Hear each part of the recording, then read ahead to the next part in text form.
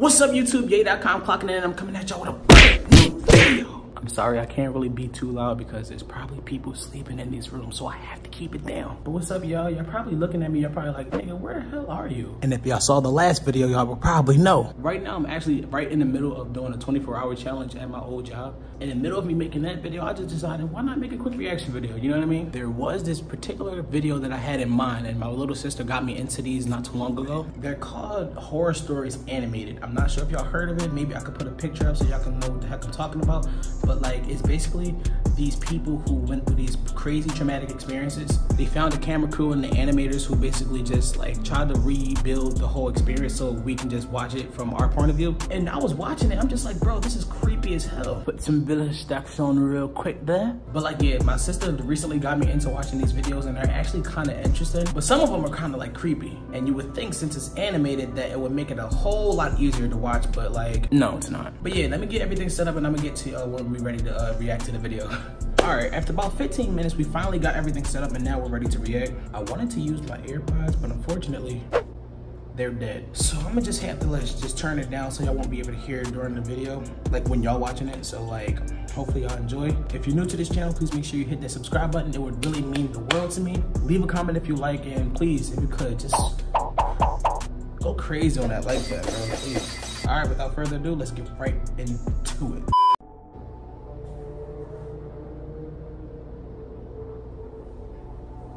When I was 19 years old in 1985 on New Year's Eve, a bunch of my friends and I went to a rooftop bar of a hotel. About a half hour before midnight, I ran down to my car because I had forgotten my camera. I figured I would have plenty of time to get back up there and find my friends. I grabbed my camera and I got into an elevator all by myself. About halfway up, the elevator started shaking and it stopped completely. I was trapped. I have always had a problem with confined spaces, so this was not an ideal situation for me. After a few minutes, everything went silent that was going on outside. Then, out of nowhere, the elevator lights went out, and I started to hear children laughing. But this was not the type of place where children would be. My heart started beating faster and faster and harder and harder. Then, all of a sudden, I passed out. As I woke up, I noticed Bruh. that I could not move or talk. I thought to myself, not sleep paralysis again. Then the light started to flicker on and off, and then all of a sudden, I see a black figure to the left of me in the corner of the elevator crouching down, smiling at me. Definitely. I tried to scream, but nothing would come out. I tried to move, but I couldn't. A guy came over the loudspeaker and told me there was an electrical short and that he would have me out soon. There's a camera in the elevator, so to the security guard, it looked like I was just laying there. I guess they figured I was drunk being that it's New Year's. Anyways, every attempt to scream or move, that figure would just start laughing at me and pointing. This whole time, the lights were flickering. Then all of a sudden, I can hear the huge crowds counting down for New Year's. 10. The dark figure is staring at me, and now with a menacing smile with 10 fingers up.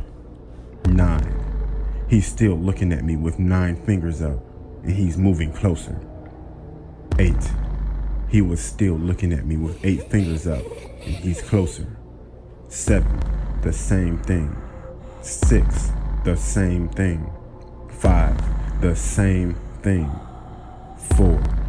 He's drooling, and he's much closer. 3. He's closer. Two, he was closer. Then the lights quit flickering and it was pitch black. Then all of a sudden, outside went silent again. I felt breathing in my right ear. And then out of nowhere, I hear one. I couldn't breathe. The light started to flicker again, then a figure was on my chest. And all of a sudden, it was gone. And I can talk and move again. Usually when I have sleep paralysis, something bad happens. Once I got out of the elevator an hour later, I found out that there was a brawl during the countdown on the rooftop bar that I was at, and four people were killed by some maniac who was waiting until the end of the countdown to start hacking up people with a machete.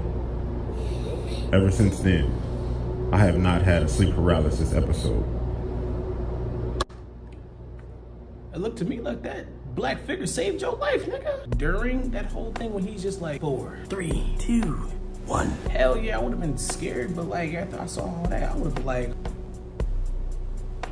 you the real MVP. But yeah, let's let's get to the next one, bro. I'm pretty sure that was the end of it.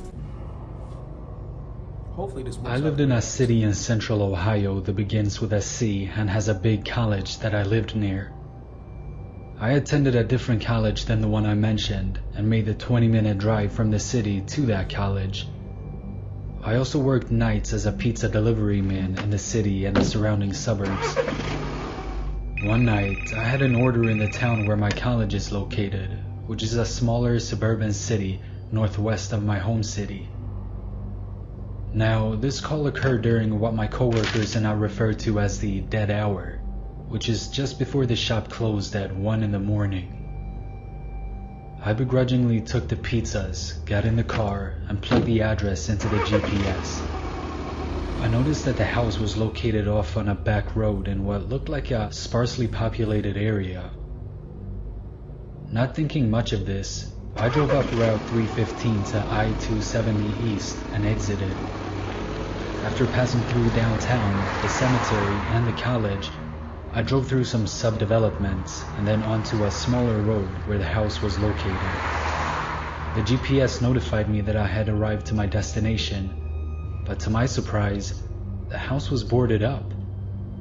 I noticed that there was a small shed in the back of the house that had a small window. There was a flickering light in the window. Mm-hmm. At this point, almost every red flag had gone off in my head, but I knew my hard ass boss would be pissed if I wimped out on this delivery, so I proceeded towards the shed. As I got closer to the shed, I heard a rustling in the bushes next to the driveway. Then I heard a man whisper, Here they come, Billy. 45, 45. At that point, a man jumped out of the bushes and two other men jumped out of the shed. They were carrying knives and were wearing these long robes and white masks. I made it back to the car just in time, but one of the assailants managed to slip my arm. As I escaped, I could see the assailant standing in the middle of the road looking pissed. I probably drove 90 miles per hour on the way back. When I got to the shop, everyone looked shocked. After explaining everything to them, we contacted the police and dispatched a few officers to the house. When they got there, the assailants were gone. They found some drug paraphernalia in the shed, and some ropes and some weird torture equipment.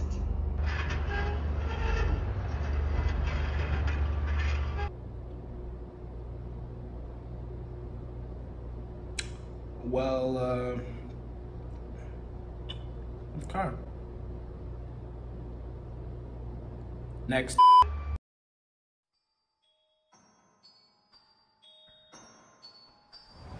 I was on a road trip with my friend Tom throughout upstate New York.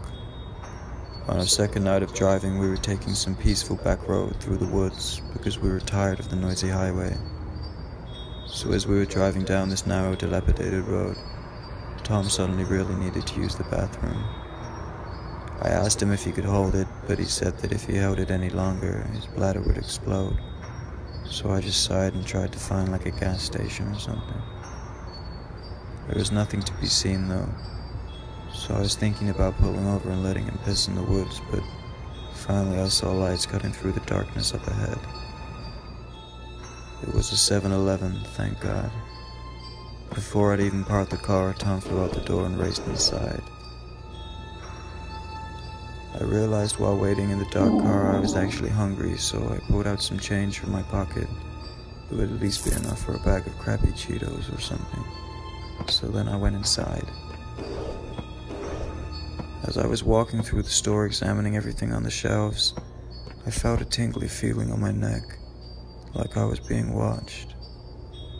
I turned around and saw a bearded man in a yellow suit casually slip into the other aisle. I rolled my eyes, picked up a bag of Cheez Its, purchased them, and walked out back to my car, looking at the dark woods behind the 7 Eleven. Tom had been gone forever, so I texted him and he told me he was just finishing taking a huge shit, which was classic Tom. Classic Tom. I was just crunching on my Cheez Its when I heard somebody go, Psst. Psst. I quickly looked around but saw nobody. Over here. Finally, I spotted a man peeking his head around a tree in the dark woods. His face was all dirty, and he had glassy eyes. We stood staring at each other for what seemed like the longest time until he said, Come over here. I want to show you something. Hell no. I got in my car and locked the doors, texting Tom to hurry the fuck up. I told him there was a creepy weirdo outside the car, and he was all like, Alright, be right over. Later on, he walked out the doors and climbed into the car, and I hit the gas to get as far away from that fucking place as possible. Cussing so casual. As we were driving, I looked back one last time in the rearview mirror and saw three cloaked, bulky men standing in the trees surrounding the 7 Eleven. Needless to say, I still have no idea what the hell was going on at that place, nor do I ever want to find out.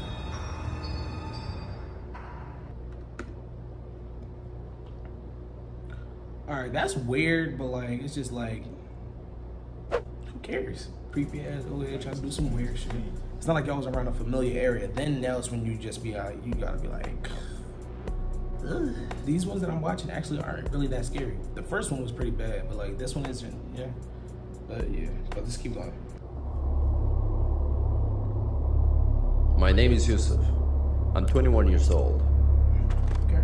A few weeks ago, my parents decided to go to Lebanon for a few days while I stayed home. I was happy to have a few days to myself, so I decided to drive to the lake which my family went camping at when I was small. It was remote, surrounded by trees and barely anyone goes there.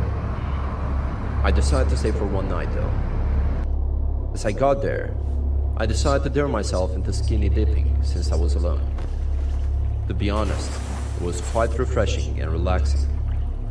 As it was getting dark, I took out some firewood to dry up with a campfire and got my lunch.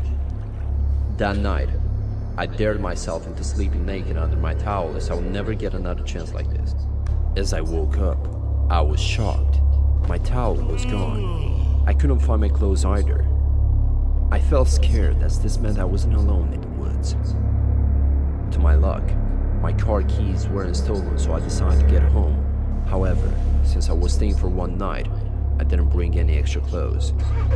Due to my condition, I had to drive on those barely used roads to avoid any exposure to the public. It was a bumpy ride, but it was worth it. After a few hours, I saw a man in the distance near the road. He tripped and hit his head on a rock. Despite my condition, I knew I needed to stop and give him some help. But as I saw him, I realized he was wearing the same clothes I wore yesterday. I got out to ask if he's okay, but he didn't move. As I got closer, he grabbed my hand and looked at me. He had wide eyes and a huge, terrifying smile. I was more scared than I like to admit. I quickly got in my car and drove away. I managed to get home by sunset and it took me a few minutes to get the balls to run to my front door. I have no return to the lake, and his smile haunted me ever since. Okay, listen to me. Everybody out there, if you driving on like a real sketchy ass road and you see somebody hurt themselves, nigga, that's just too damn bad. Please don't do what he just did, especially since he was all he was all exposed. He still gonna get out and be like, hey yo, bro, you alright? I'm good on all that. I'm good on all that.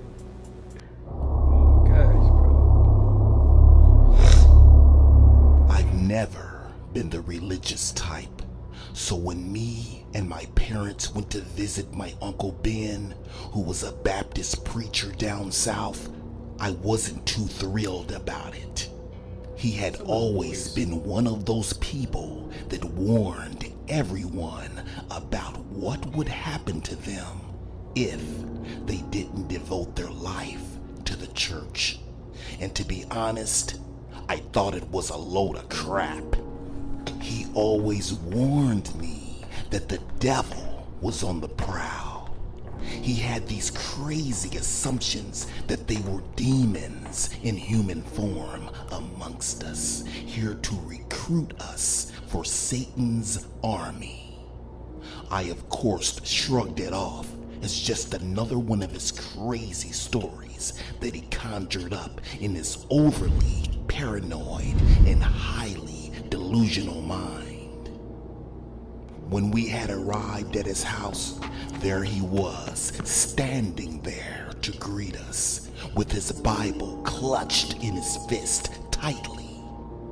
As I walked past him, I politely spoke to him, but the only words that escaped his lips were, Are you ready to protect yourself from the devil now?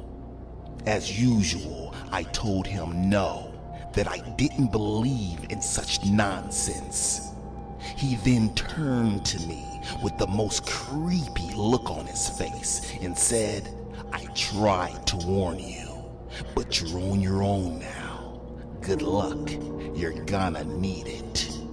Later on that night, during a powerful thunderstorm, as I was sleeping in the guest room, which always seemed to creep me out due to the fact that there was always a large, creepy cross of Jesus hanging above the bed where I slept. I had finally drifted off to sleep, but was awakened by a warm drip of liquid on my forehead. I thought it was just the roof leaking, since it was raining so heavily. But when I opened my eyes and wiped my forehead, it was not rain. It appeared to be blood, which of course startled me. When the lightning flickered upon the cross, I had noticed that the nails in the hands of the Jesus figure was dripping blood. Then I heard a rustle under the bed. When I looked under it, there was these yellow eyes glowing in the darkness. Then the face of whatever it was slowly revealed itself. It had horns and teeth that were sharp and jagged. It was the devil.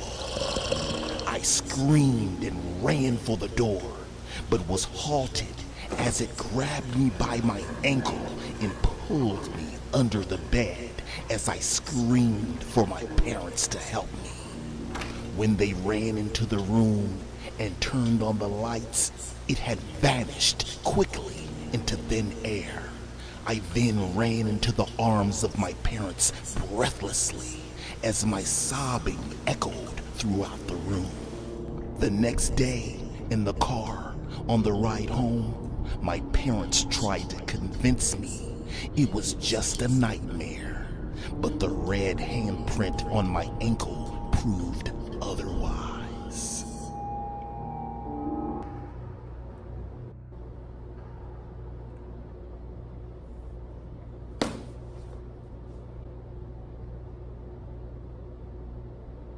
Alright, I'm not gonna lie. That last one kinda got me. The thing about all the stories that they be having on these is that like the things that be happening in them, the details are so particular that you would think that nobody would make that up. Maybe that's what they want you to think. And the thing about this is my little sister literally told me that she kind of be falling asleep to these. And today I would like to politely ask, how the hell can she do that? Bro, I'm literally just sitting here in this empty hallway and I'm thinking that there's somebody creeping around the corner right now. But yeah, yo, let's not, yeah, just don't do whatever they did in that video, bro. If you driving on a real messed up road and you see some guy coming from behind a tree and he be like, Come in. Don't go to them. If your church pastor tells you to, you better pray for these demons, you better just do it just in case, bro. Because I have yet to see a demon, but like, listen, bro, I'm definitely gonna be prayed up just in case that time comes. And that's a fact. But yeah, that's pretty much it for this video. I appreciate everybody for making it this far into the video. If you did make it this far into the video, please make sure you slap that like button in the face because that nigga is a hoe. If you're new to this channel, please make sure you hit that subscribe button. Trust me when I say you will not regret it. Leave a comment if you like, and always make sure you hit that thumbs up button. With that being said, my name is J.com, and I'm gonna catch y'all in the next video, all right?